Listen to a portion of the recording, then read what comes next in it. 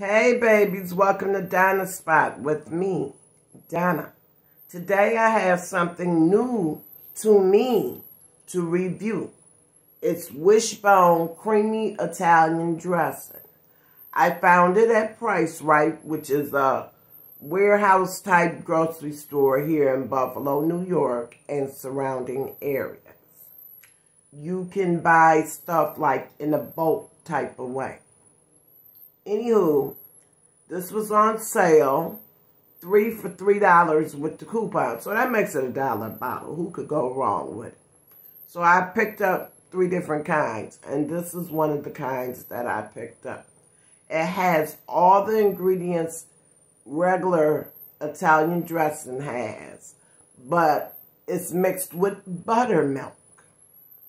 It tastes really, really good on your salads. I'm a salad connoisseur. I love salad. So I like to have different dressings around. I can have that one salad and use different salad dressings and it's a new experience each and every time. I really, really like it. Um, there's nothing negative to say about it. I like my salad dressings cold. So once I open it, I put it in the refrigerator and then I eat it. So room temperature or cold, either way, it tastes really, really good.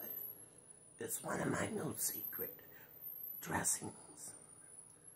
And once I start using it more, I'm going to start trying to cook with it, and I'll let you know what I think of it. So, um, I have nothing negative to say about it. It's not overpowering or anything. It's just right.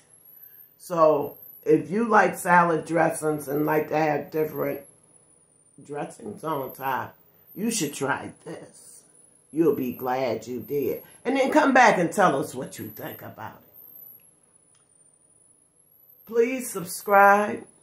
Hit that thumbs up button. And that little bell, the little red bell is your notification button. So you'll always know when I'm uploading.